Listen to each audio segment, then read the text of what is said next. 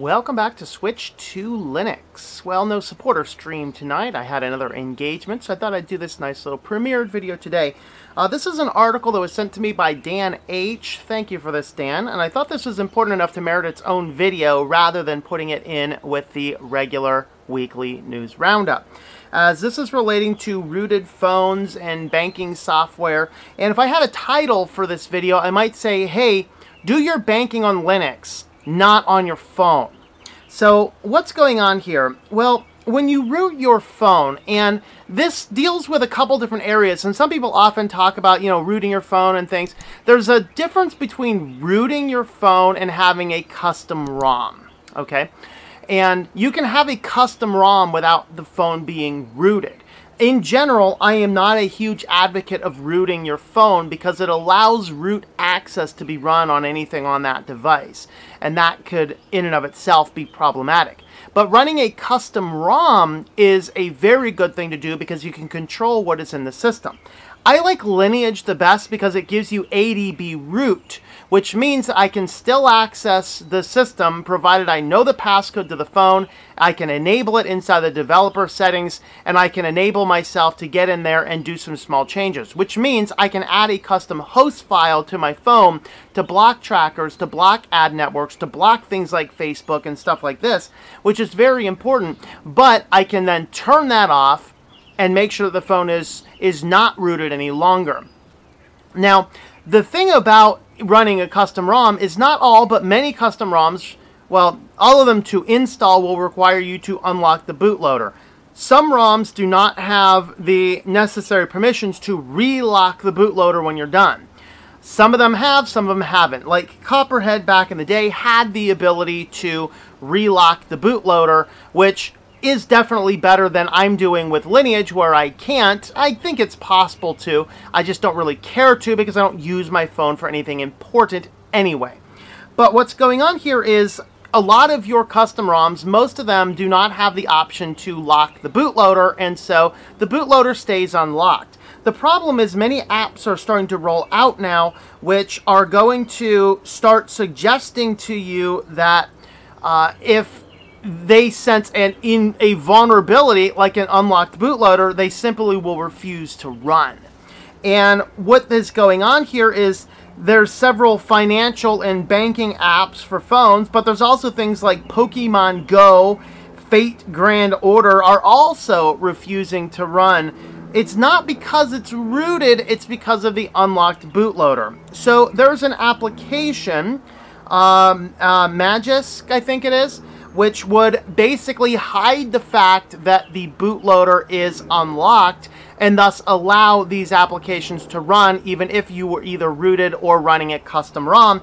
But in some of the latest versions, Google confirmed back in May that they are they are basically identifying and blocking this app from showing its status, which means that Google is now pushing something in the back end of the phone, which is going to prevent you from hiding the fact that your ROM is custom or rather that your bootloader is unlocked is what it boils down to.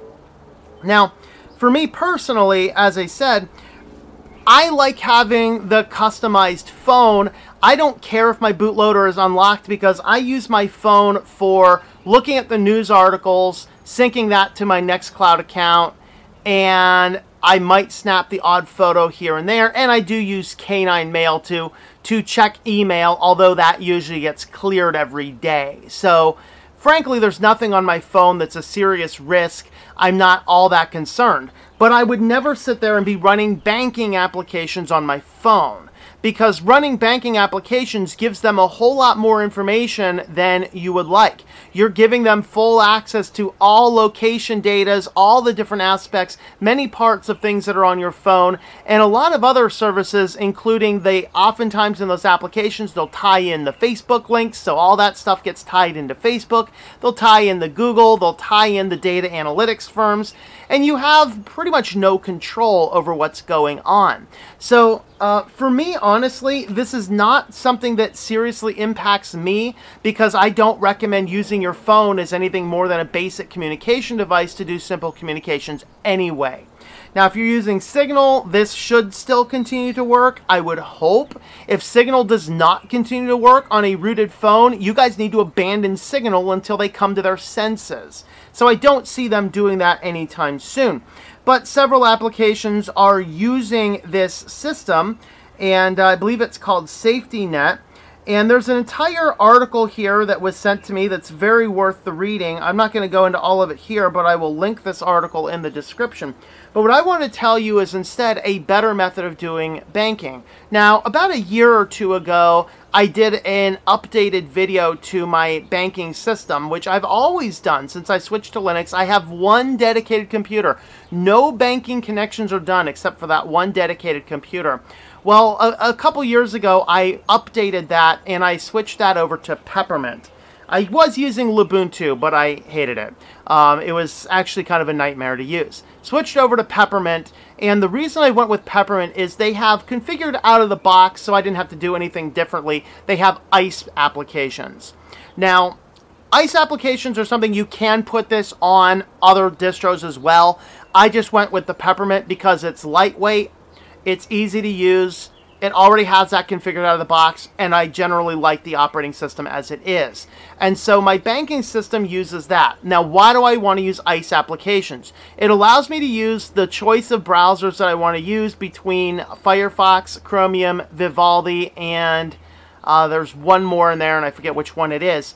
And I believe with the latest version, they're starting to roll out more browsers as well. I'll let the people uh, developing the new ICE applications leave a comment about that um, down below. But what I like about it is it allows you to run to basically take your banking application and put it in its own containerized system. Yes, I know that Firefox does support separate containerization now, but this allows you to take one one um, website, put it into its own container, and then give it a menu item, or in my case, I throw it on the panel. So you know, first little panel button, this is my primary bank. Second little panel item, this is my corporate bank. Third little panel item, this is an investment account. Fourth one, I think a PayPal account. So you end up using a system that is exclusively designed for nothing more than banking. I don't browse the internet on it. I don't look up anything else on it. It is used exclusively for financial institutions. Now, you don't necessarily need a separate computer for that. Many people might be saying, well, I can't get an extra computer. No, I do it on a little thumb drive.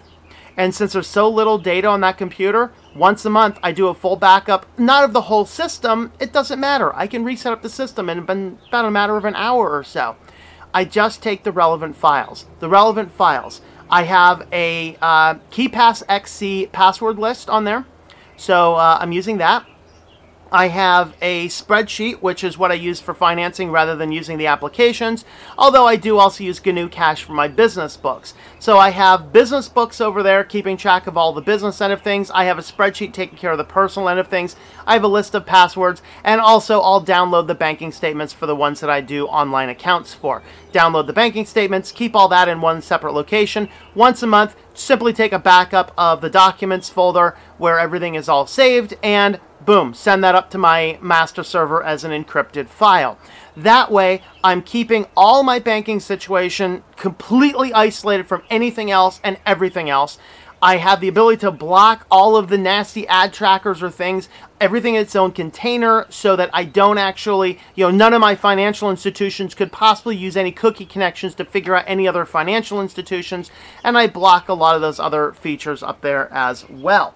There's no email that gets checked on that. Um, although you could probably go in and add an email account and definitely have a separate email account for your banking if you can. And if you can control that domain, all the better. Definitely worth it. But uh, I wanted to identify that to say that if you are using a custom ROM with an unlocked bootloader or a rooted device, you may find coming up soon that your financial institution's applications will not work on your phone any longer. This is called a blessing. You shouldn't be doing that stuff with your phone anyway. It's too insecure. It's too susceptible to tracking and hacking definitely want to do that. So do your banking on Linux. I'll go ahead and link in the description down below my banking computer setup so that you can kind of see what I'm doing with Peppermint. I'm just using a basic lightweight. Everything is encrypted out of the box, so it requires the uh, the encryption key to unlock the uh, unlock the, the encryption on the hard drive, and then it requires, of course, the, the user login as well. So two passwords to get into the system. Everything else on there is encrypted further as well. All the passwords are in KeePass XC, so that everything is, is all pretty ultra secure on that one system, which runs on a little $10 USB hard drive. Just make sure you save a regular copy of that in case anything goes goofy with that. And if the hard drive gets lost or stolen, everything's super encrypted anyway, so it's all good. Well, at least until the government takes away our ability to encrypt things, and then I guess I'll just be a rebel. So anyway, that's my thought. Um, good article there. Have a read through that. Thank you, Bill, for sending that to me.